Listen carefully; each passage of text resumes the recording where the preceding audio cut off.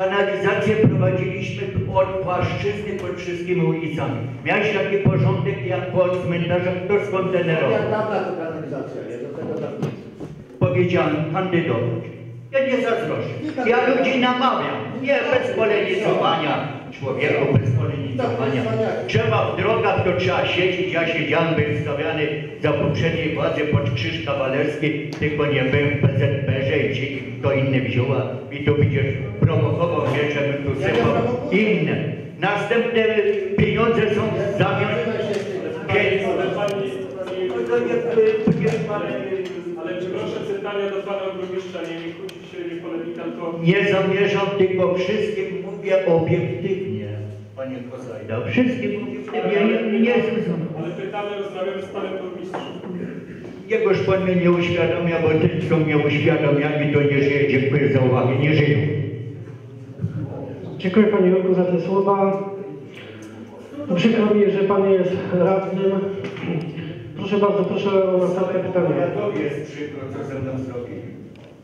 Cały powiat, oprócz Włodarza. No to ja w imieniu tego powiatu Pana przepraszam. Szanowni Państwo, ja nie jestem mieszkanką tej dzielnicy miasta, ale jestem rodowitą Polanką od 60 lat. Od 7 lat uczestniczę w obradach sesji Rady Miejskiej i szanowny mój przedmówca, pan Jakubowski, należał do grupy tzw. etatowych radnych. No bo jeżeli się przez 15 lat jest radnym, to jak to traktować jak nie etat? Ja tutaj, Szanowni Państwo, zrobiłam specjalny konspekt. Jeżeli jesteście zainteresowani, ja udostępnię ten materiał.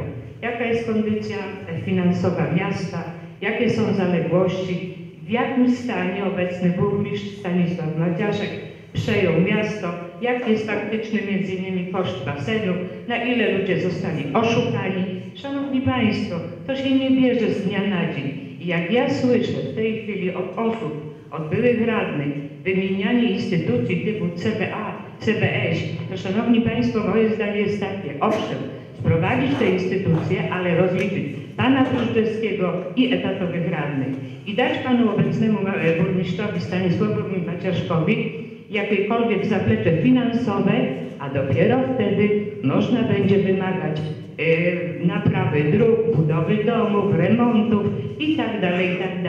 Pozwolę sobie jeszcze, korzystając e, z udzielonego mi głosu, Szanowni Państwo, do oceny są wszyscy. Moja skromna uwaga jest taka, że zanim się kogokolwiek oceni, Szanowni Państwo, za- zapoznajcie się z całością materiału, a przede wszystkim z kondycją finansową miasta. To jest podstawa podejmowania jakichkolwiek decyzji. Dziękuję.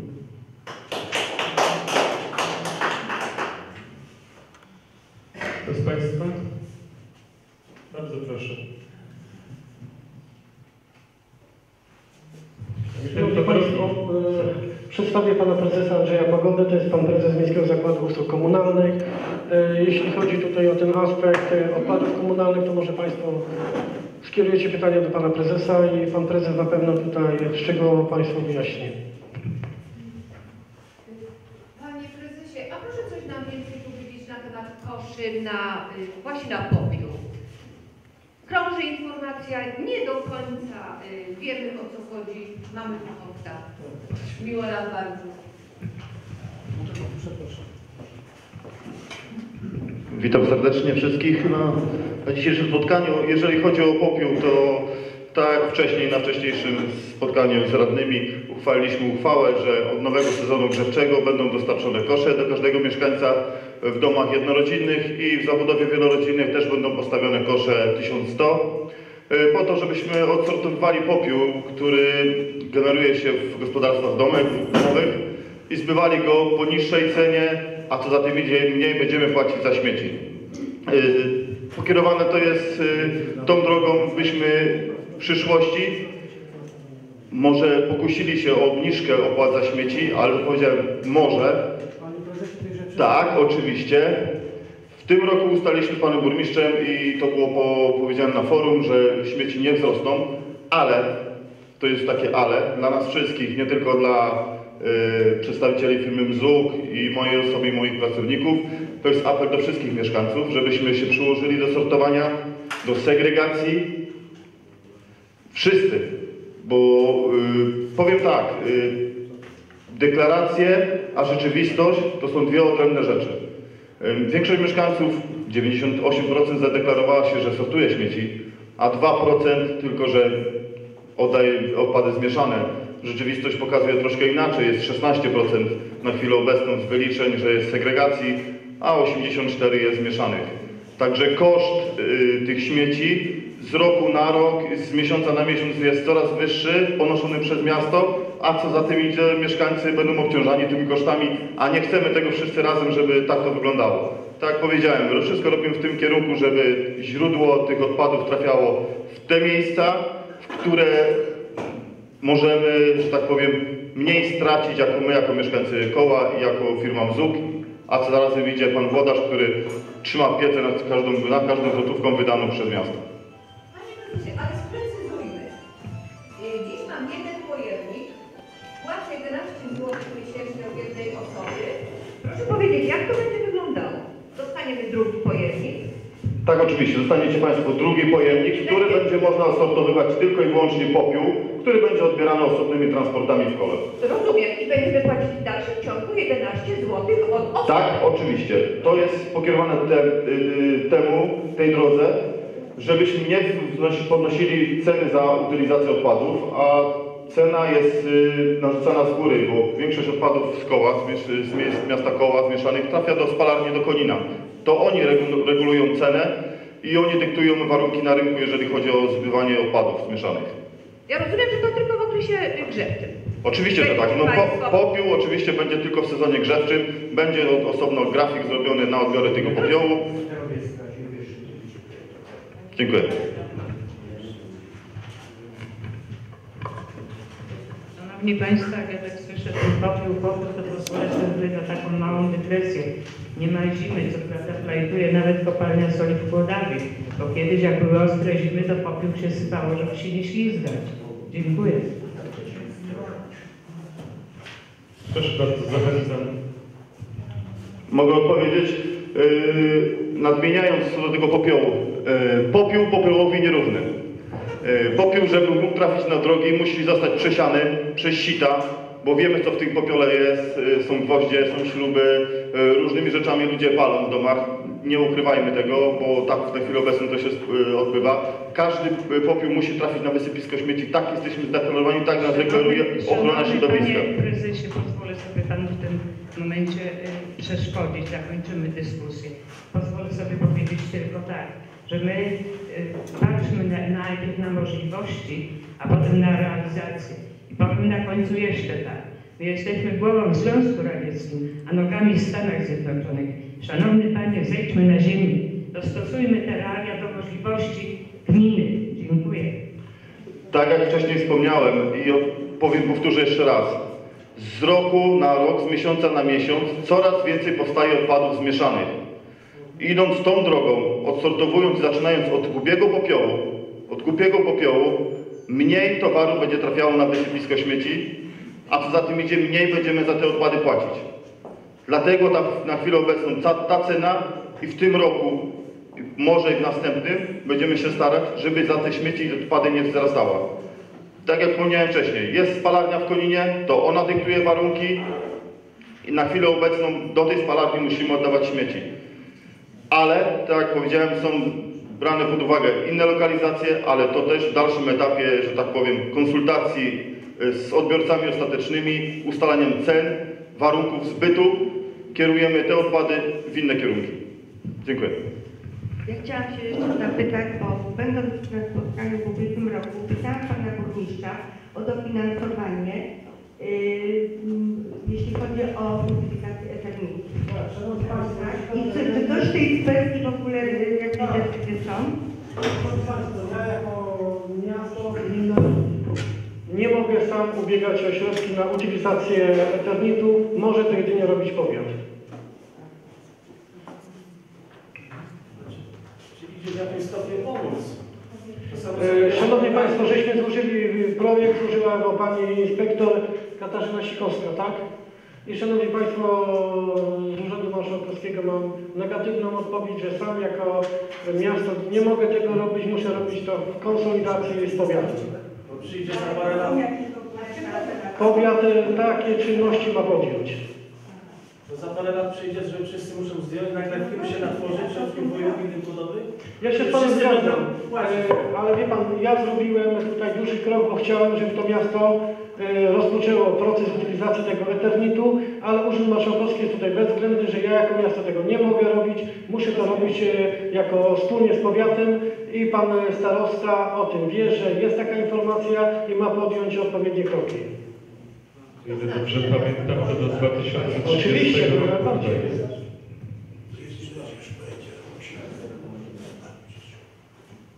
Na samym końcu dopiero będzie miała firmę. To z Państwa jeszcze bardzo proszę, Państwo, ja się tutaj z Państwem podzielę, bo mamy wiele takich wyzwań. E, Chcę, żebyście też Państwo tutaj wiedzieli, żeśmy złożyli projekt na budowę, modernizację przestrzeni ścieków. Jest, znajduje się w Narodowym Funduszu Ochrony Środowiska. Koszty inwestycji to jest 40 milionów złotych. Przeniesienie e, punktu e, Miejskiego Zakładu Usług Komunalnych z ulicy Domskiej na ulicę Zakładową. Koszt wybudowania nowego zakładu 3,5 miliona złotych. Jak Państwo wiecie, jak przed chwilą powiedziałem, e, Państwo radni podjęli e, decyzję, uchwałę o rozbudowie w kolach geotermii.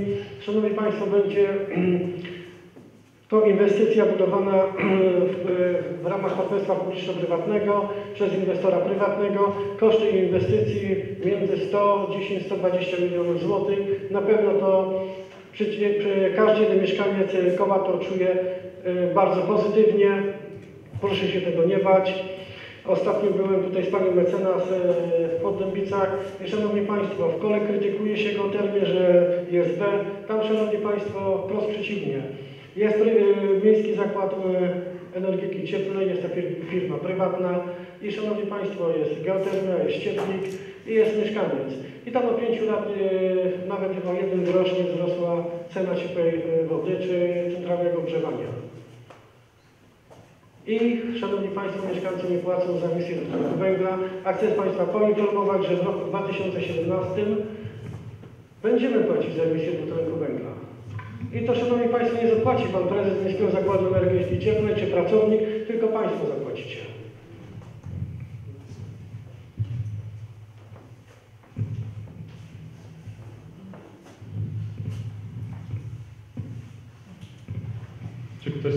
Jeszcze ma jakieś pytania? Bardzo proszę. Nie tylko drogi mamy w tej części miasta. Może jakieś inne pytania Państwo macie, problemy? Szanowni Państwo, wiele teraz się pojawia takiej informacji, że ja powiem może takim wulgarnym e, językiem, ale zrozumiałem dla każdego, że ja zdefraudowałem jakieś pieniądze. Po objęciu tego urzędu, ja mogę Państwa zapewnić, że ja nie, zdefraudowałem złotówki. E, Wszystko robię, żeby po stronie przychodów e, zwiększyć przychody. Nie myślę tylko o stronie e, wydatkowej, tylko dla mnie najważniejszą rzeczą, jaką jest, to jest przychód. Szanowni Państwo, ja mogę Państwa zapewnić, że robię wszystko, żeby tych pieniędzy do tego urzędu wpływało jak najwięcej, a nie robię tego, że bezcelowo nie wydaję żadnych jakichkolwiek pieniędzy. Jeśli ktokolwiek z Państwa w to wierzy, no to ja tutaj chcę to zdementować i proszę Państwa o taką merytoryczną, głęboką analizę. Tak nie jest. Szanowni Państwo, żeby była dobrze, zrozumiana, ja nie jestem niczyim człowiekiem. Yy, U mnie białe to jest białe, a czarne to jest czarne. Yy, Poświęciłam ponad dwa miesiące, żeby opracować ten oto konspekt. I o jakiej defraudacji w ogóle ktoś śmie mówić?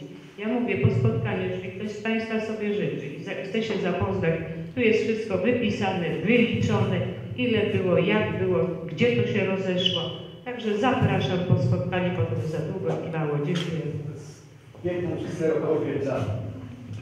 Jedną kserokopię. Dziękuję. Przepraszam. To pani to kto jest? Nie wiem. Przepraszam. A pani to kto jest, jeśli można wiedzieć? Pani tak co ładnie mówi. Szanowni Panie, moje nazwisko Łukaszewska, domu nazywam się Dolata. Moja mama sprzedawała w sklepie spożywczym na tak samym dołku pani Mozaikowej ponad 10 lat. To jestem ja.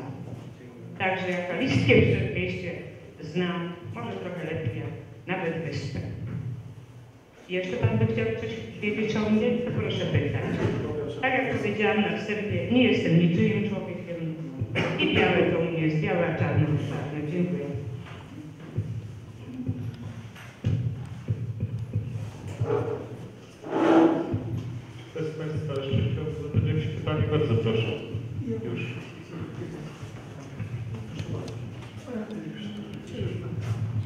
Ja mam takie pytanie, czy w ramach tego programu Kawka to będzie można skorzystać z dofinansowania do takich instalacji jak instalacje solarne albo fotowoltaiki.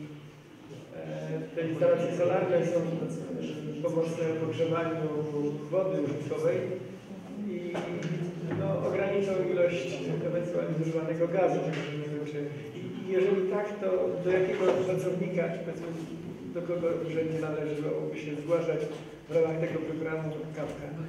Szanowni Państwo, jeśli chodzi o ten program Kawka, projektowanie środków e, finansowych z tego programu, ten program jest e, przede wszystkim dedykowany dla mieszkańców, którzy posiadają ogrzewanie e, węglowe. I to jest na wymianę na ekogroszek. Będzie taki program uruchomiony chyba w czwartym e, czy w trzecim kwartale tego roku. Na pewno mieszkańcy będą powiadomieni.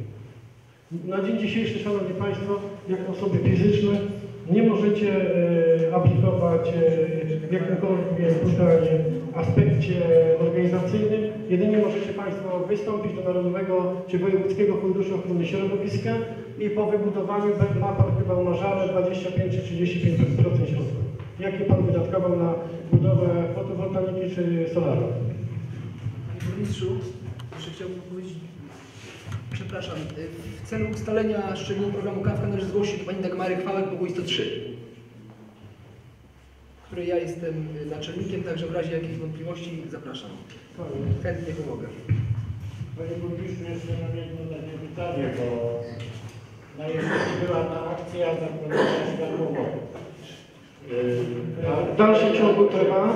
Na razie jest cisza, nic nie słychać. Ale są agenci chodzą, którzy już spisują umowy na programy tam, na komputer, na telewizję, na tego.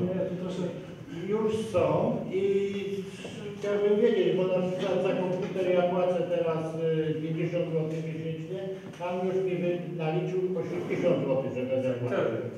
Ten, za internet. Y, Teraz za telewizję z racji wieku nie płacę. Jestem zwolniony z tego. Jeżeli będę przez światłowód, będę płacił też tam, nie pamiętam ile, ale wysoką tę sumę. I tam jeszcze tych różnych dodatków, telefon, coś tam jeszcze jest. Czy to jest legalnie robione, czy to ja nie wiem. Tak, Szanowni Państwo, jeśli chodzi o budowę systemów e, światłowodowych, zajmuje się tym Urząd e, Marszałkowski.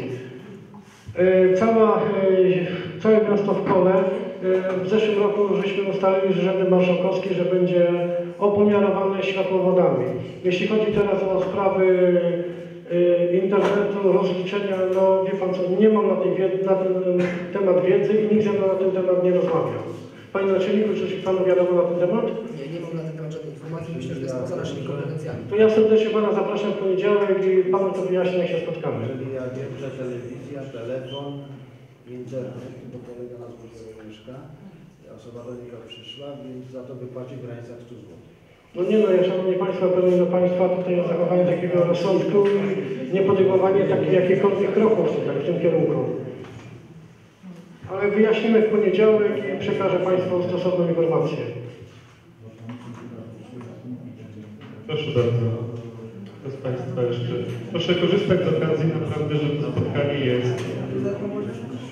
Można wszystko zapytać. Bardzo proszę.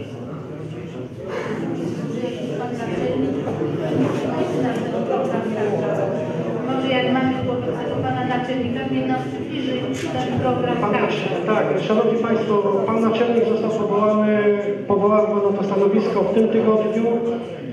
E, program Kawka jest dedykowany dla osób e, fizycznych. Mających ogrzewanie węglowe. Jakby Pani chciała stary piec wymienić na nowy, to od Urzędu Miasta po złożeniu odpowiedniej dokumentacji Pani otrzyma dopłatę do 6 tysięcy złotych. Do 6 tysięcy złotych. Na ekogroszek, bo wtedy Pani zyska efekt ekologiczny, bo proszę pamiętać, żebym ja Państwu pieniądze wypłacił, musi być e, zachowany tak zwany efekt ekologiczny. Nie, na ropę nie ma. Proszę? Nie, nie, ale ja Jak Pani wymieni to na ekogroszek, otrzyma Pani. Tak. Nie, nie, na olej opałowy nie. Na gaz też nie, też. Ale Szanowni Państwo, no ja nie jestem tutaj ekspertem od ekologii. Y, Fachowcy stwierdzili, że ekogroszek też jest y, tutaj tym efektem ekologicznym i się należy dofinansowanie. Panie burmistrzu, ja jakąś wiedzę na temat powiada mogę wytłumaczyć, dlaczego na ekogroszek może być. Proszę bardzo. Drodzy Państwo, nie jestem technikiem w tej sprawie, objąłem urząd dwa dni temu, aczkolwiek posiadam e, wiedzę, że Państwa wydaje mi się usatysfakcjonować. E, w przypadku piecu na ekogroszek, aby ten efekt ekologiczny był uzyskany, jest to piec kategorii piątej, czyli piec, w którym spalanie następuje nie od dołu, tylko od góry, bo jakby o poziomie ekologii świadczą popioły, jakie z tego pieca wydostają. Jeżeli ten piec jest spalany od góry, komora spalania jest zamknięta, nie można w niej nic mieszać, te popioły nie wydzielają się na zewnątrz i jakby to jest miarą ekologii dla organizacji, dla instytucji, która tej dotacji udziela. Ale jest to piec kategorii piątej, tak mówię, on relatywnie będzie drogi, e, może nie, nie, nie tak jak piec gazowy, ale na pewno będzie droższy od standardowego pieca ekogroszy. Dziękuję.